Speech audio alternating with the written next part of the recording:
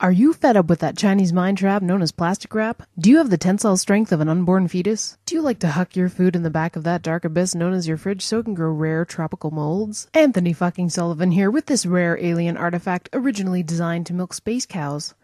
It is so versatile that we humans can attach it to anything that roughly fits the dimensions of a space nipple by giving it a few firm fingers.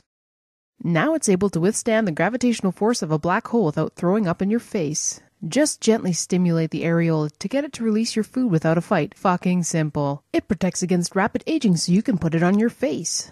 Decomposition is no match so you can keep body parts dismemberment fresh. The secret is sneaking up on an unsuspecting item and trapping in the freshness, as it's not goddamn smart enough to open complicated intergalactic airlocks.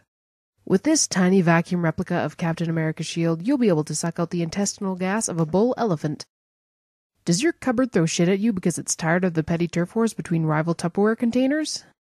Well, fuck that. This bitch fits any dish you own. Just pop the top so those other bitch ass Tupperwares know who the new fucking boss in town is. It's a cool space motherfucker, so it won't start shit with your microwave.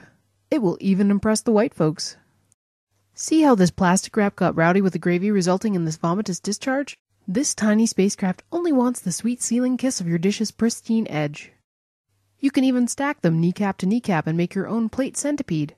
Look, and it's completely ethical. We even tested its durability by buying it a few drinks and convincing it to have rigorous sex with this robot.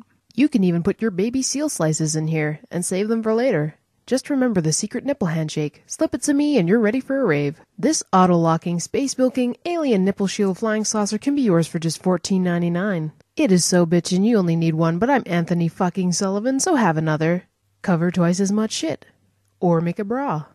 And remember, only you can prevent forest nipple fires.